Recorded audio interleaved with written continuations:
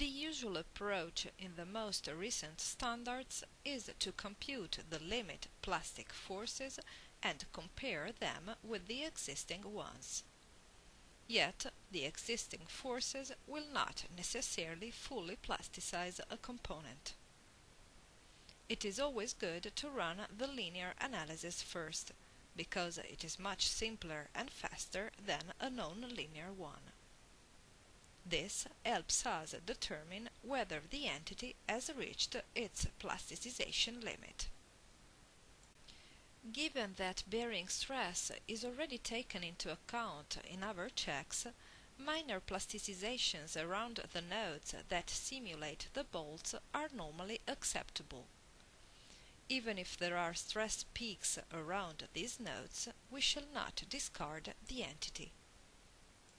Conversely, if plasticization affects large areas of the component, then we can conclude that a linear analysis will not be enough.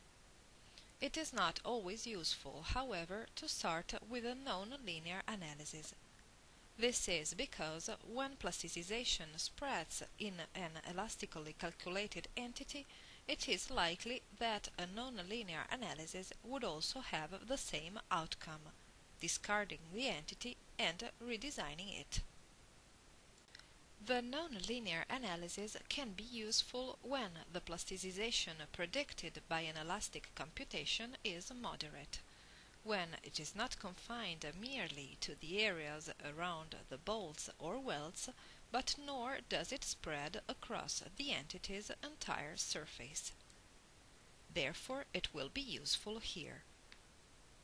The non-linear analysis is longer than the linear one, because the computation is iterative. There are two basic approaches, depending on the constitutive law used for the metal. Under the elastic perfectly plastic constitutive law, the analysis aims to achieve convergence using the full applied load.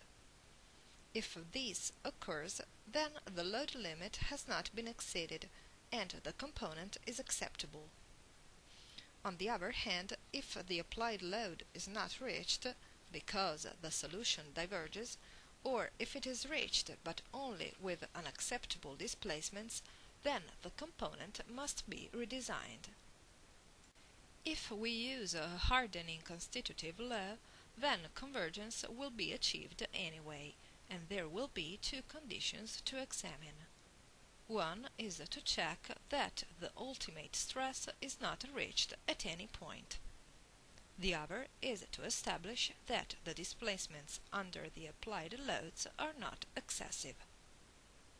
For a component whose FEM model has been created, we analyze its state of stress by considering its von Mises stresses.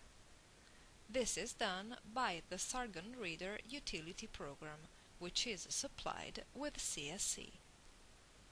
The available functionality includes the ability to view the von Mises stress envelope map for all combinations. This immediately tells us the peak stresses that have been reached and in which areas and combinations they occur.